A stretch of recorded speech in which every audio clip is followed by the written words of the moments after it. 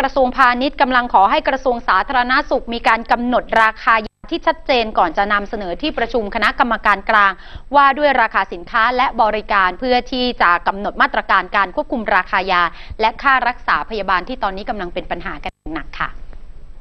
โดยนายบุญยริศกัลยาณมิตรอธิบดีกรมการค้าภายในออกมาชี้แจงความคืบหน้าการดูแลราคายาและค่ารักษาพยาบาลนะคะว่า แม้กระทรวงพาณิชย์เนี่ยจะเป็นหน่วยงานที่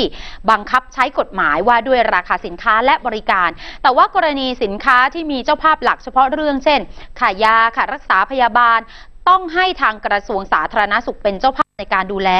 โดยในส่วนของค่ายาถูกบรรจุเป็นสินค้าควบคุมภายใต้กฎหมาย ว่าด้วยราคาสินค้าและบริการอยู่แล้ว แต่ไม่ได้กำหนดมาตรการใด ๆออกมา ดังนั้นกระทรวงสาธารณสุขจะต้อง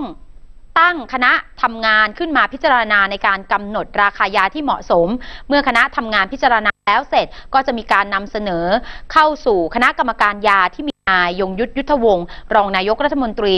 ด้านสังคมเป็นประธาน จากนั้นก็ทำเรื่องเสนอให้ค่ายาเป็นสินค้าควบคุมราคา มายังกระทรวงพาณิชย์ เพื่อเข้าสู่คณะกรรมการกลางว่าด้วยสินค้าและบริการกันต่อไปค่ะ ในส่วนของค่ารักษาพยาบาลซึ่งเป็นสินค้า บริการ ที่ยังไม่ได้มีการบริหารควบคุมภายใต้กฎหมาย ว่าด้วยราคาสินค้าและบริการ ประเด็นนี้หน่วยงานที่เกี่ยวข้องเห็นว่าจะนำเสนอมายังกระทรวงพาณิชย์ให้กำหนดเป็นบริการควบคุมกันต่อไป อธิบดีกรมการค้าภายในบอกว่าการกำหนดราคาควบคุมทำได้ ทั้งการกำหนดราคาจำหน่ายสูงสุด การกำหนดมาตรขออภัยค่ะ การกำหนดอัตราผลกำไร และสามารถกำหนดควบคุมเฉพาะพื้นที่ก็ได้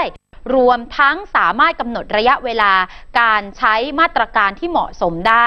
ซึ่งหากกระทรวงสาธารณสุข ยื่นเสนอตามขั้นตอนแล้ว การกำหนดควบคุมราคายาค่ารักษาพยาบาล จะมีผลภายใต้ พรบว่าด้วยราคาสินค้าและบริการ หากพบการกระทำความผิดก็มีโทษจำคุก 7 ปีปรับ 1 4 0 0 0 0 บาทค่ะ